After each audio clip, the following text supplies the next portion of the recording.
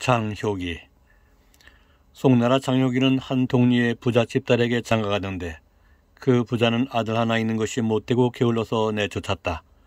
부자가 병들어 죽을 임시에 그 집 재산을 모두 효기에게 부탁하니 효기는 후사를 예법대로 성실히 다스렸다. 이러기를 여러 해 하루는 길에서 동양아치가 된 그 아들을 보았다.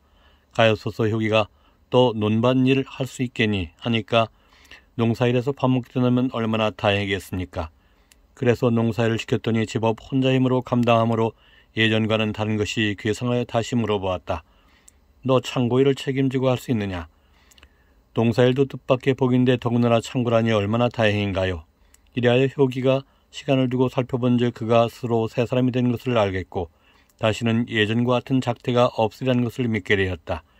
이윽고 그 아버지가 맡겼던 재산을 모두 돌려주니 그 아들은 이로부터 규모 반듯하니 집을 다스리며 지조 있게 저신하니 향리에서 착한 선비로 칭찬들 하였다. 몇 해안가 효기가 별세한 후 그 친구 몇 사람이 숭산에 놀이 갔는데 갑자기 장화려한 깃대를 휘날리면서 마부가 모는 수레가 들판 가득히 나타났는데 이 고장을 수호하는 토지신이 탄 것 같다. 가만히 보니 수레 임자는 바로 효기가 아닌가.